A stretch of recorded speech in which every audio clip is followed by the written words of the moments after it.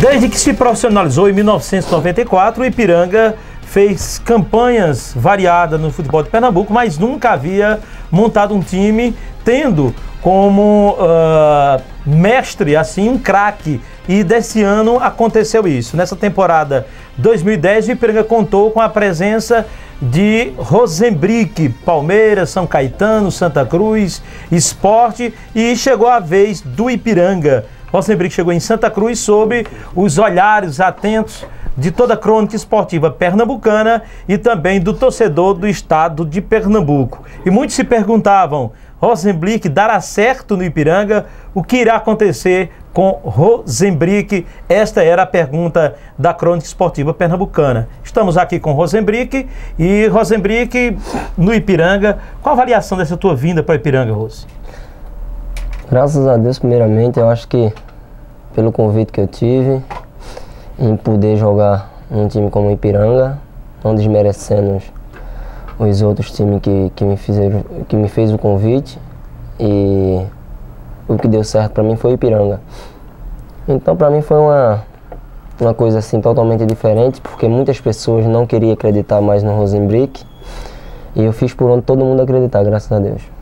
E no início do seu trabalho no Ipiranga, havia aquela desconfiança. Rosemary irá cumprir suas funções e você uh, foi o primeiro a chegar, o último a sair, participou de todos os coletivos e cumpriu sua parte profissional. Qual o sentimento do dever cumprir em relação a esta questão, Rose? Para mim, particularmente, é uma maravilha. Em termos de, como até quando eu cheguei aqui, eu tive uma conversa com o presidente e falei que Muitas vezes a gente é defamado sem as pessoas conviver com a gente. Então é fácil demais eu falar de, de, de qualquer uma pessoa hoje, dizer que uma pessoa é um traficante, é, por exemplo, qualquer coisa que, que seja de mal. É, você defamar uma pessoa hoje é fácil. Agora, você colocar essa pessoa lá em cima é difícil. Você colocar as coisas boas que essa pessoa faz é muito difícil. É difícil você ver isso. Então, foi um, foi um prazer para mim e, e, em termos de, de, tudo, porque eu quis provar quem sou eu aqui em Santa Cruz de Capibaribe, quis provar e quis, e quis provar que é, a gente não desaprende a jogar bola. Então eu vim para aqui com, com esse pensamento, vim para aqui para mostrar, vim para aqui para jogar e não vim para aqui para conhecer a cidade. Vim aqui para trabalhar e foi o que eu fiz. É, de início, sob o comando de Rubens Monteiro, Rosenbrick e alguns companheiros é, trouxeram aquela grande expectativa de um campeonato. Como é que foi o convívio, Rose, com uh, esse grupo do Ipiranga? Maravilhoso em termos de, de, de, com jogadores, né?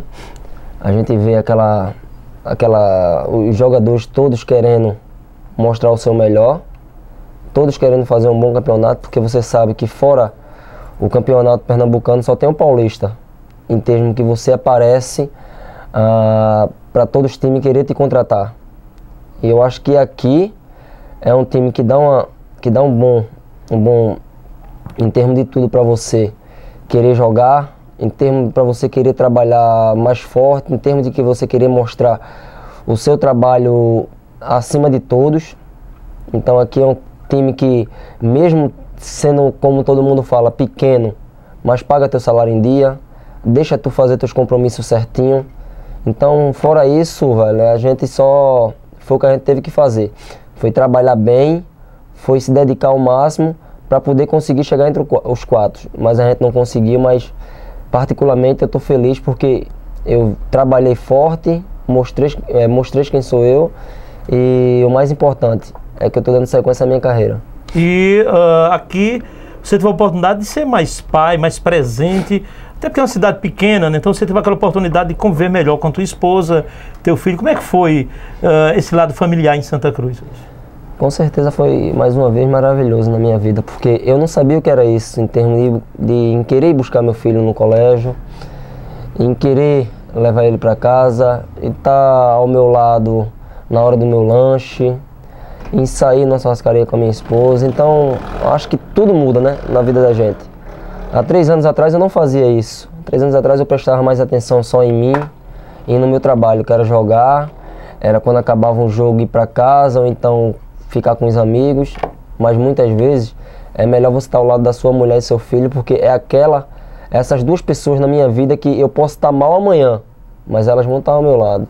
Eu posso estar bem amanhã, eles vão estar bem, eh, eles vão estar ao meu lado de, de qualquer forma. Então sempre os dois vão estar torcendo por mim. É uma maravilha quando eu chego em casa e meu filho pergunta: "Pai, fez gol hoje?" "Pai, o rapaz deu um baque em você". Então, para mim isso tudo é uma alegria, isso é tudo uma vida nova para mim, é como até o Neco falou, é o Rosenbrick 2010.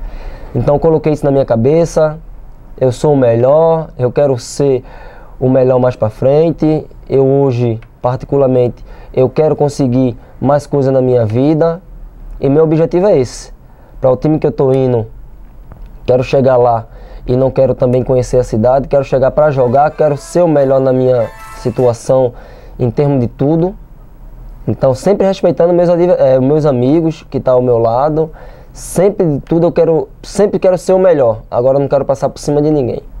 E a cidade de Santa Cruz do Capibaribe, que representou para você o convívio com as pessoas, com os populares, com o torcedor? É diferente demais, né, cara? Porque antes de vir para cá eu passei por, por grandes times, como Esporte, Santa Cruz, São Caetano, Palmeiras. Mas isso não importa. Importa que hoje o meu time que eu jogo é o Ipiranga. Então, em termos de diferença, tem muita. Porque a cidade de Santa Cruz, a gente convive com os torcedores. Se a gente está lanchando, o torcedor chega, pede um autógrafo, uma foto, e a gente tem que ser já totalmente, é totalmente diferente da nossa cidade grande. Então acho que foi bom para mim porque eu convivi com o calor dos torcedores. Quando entrava em campo, a gente já entrava sabendo que ia ver aquela pressão dos torcedores para a gente ganhar. Quando a gente ganha, a cidade parece que, que muda o jeito das pessoas falar com a gente, o jeito das pessoas tratar, mas quando perde, as pessoas já olham de banda. Mas é assim mesmo, acho que é uma cidade que quer ver seu time ser vencedor.